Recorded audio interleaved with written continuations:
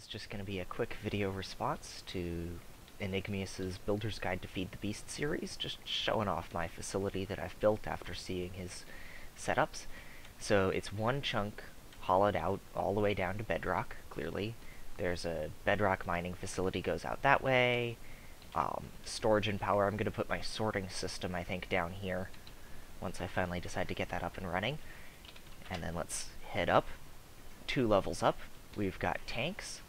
The one on the right obviously contains lava, and back behind it there is a um, ender chest and your standard magma crucible setup to produce lava from netherrack. And this just has aqueous accumulators to produce large amounts of water if I need that.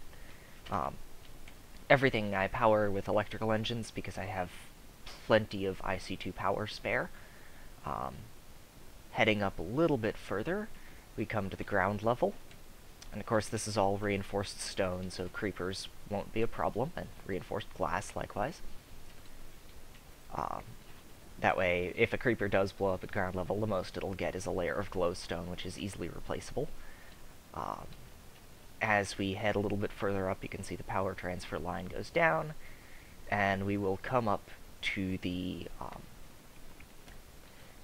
next level that has stuff on it, which is Buildcraft Power Generation. If I need large amounts of Minecraft joules, I've got redstone energy cells powered by tons of electrical engines. Um, so they stay get full and stay full pretty quickly.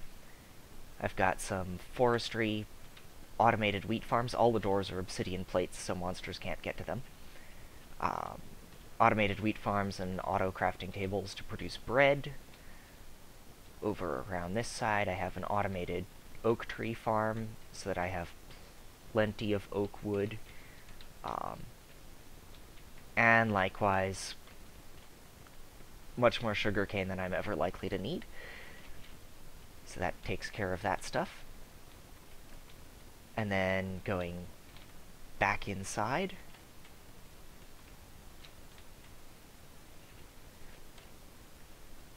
come up here, we've got Mystcraft and End portals along with the Mystcraft table.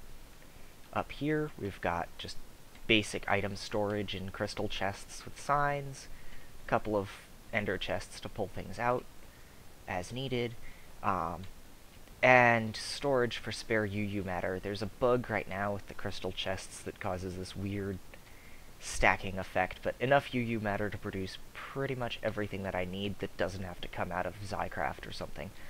Um, sand generator is no longer working in 1.4.6, a smooth stone generator that still does work, not that it's needed.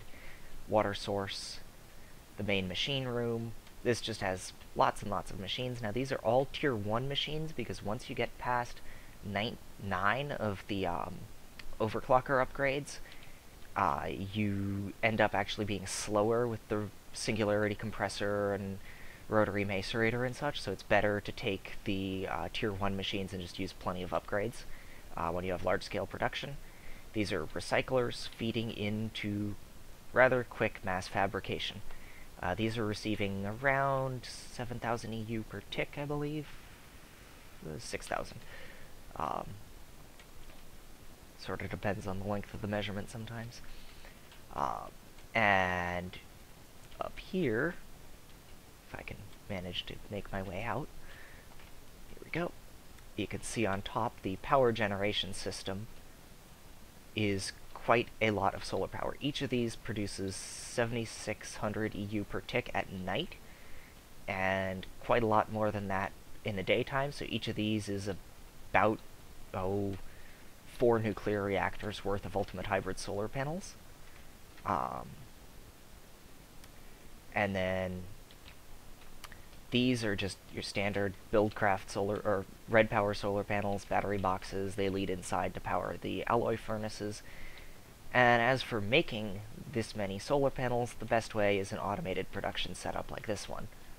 Um, it's currently off because I have all of the panels that I need and just a few spare materials, but just lots and lots of auto crafting tables. The one thing that I do have that's not a default part of Feed the Beast is when I when Red Power came out, I got Tube Stuff and started using the tier the advanced auto crafting tables because those can interact directly with Red Power without and so you can have some nice features um, like controlling the rate that it builds something by changing the rate of um, your timers.